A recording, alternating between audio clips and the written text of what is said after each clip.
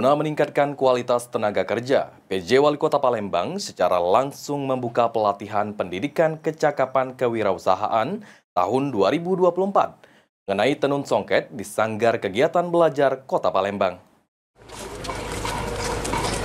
Kolaborasi dengan Pemerintah Palembang menggelar pelatihan pendidikan kecakapan kewirausahaan tahun 2024 di Sanggar Kegiatan Belajar Kota Palembang dan dibuka langsung oleh PJ Wali Kota Palembang, Uco Abdul Rauf Damenta pada Selasa 12 November 2024. PJ Wali Kota Palembang, Uco Abdul Rauf Damenta mengatakan, kegiatan ini diikuti sebanyak 50 orang peserta PKW yang mayoritas adalah generasi muda dari beberapa segmen, seperti di antaranya anak putus sekolah.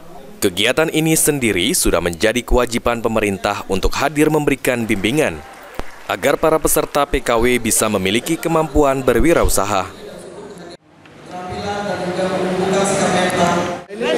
memberikan dukungan kepada peserta PKW yang terdiri dari generasi-generasi muda ya. Terdiri dari beberapa ini segmen lah. Ada yang putus sekolah ya. Kemudian ini sudah menjadi kewajiban pemerintah untuk hadir memberikan dukungan terhadap pelatihan mereka agar mempunyai skill dan khusus hari ini adalah masalah songket, ya kan? Seni apa? Tenun songket.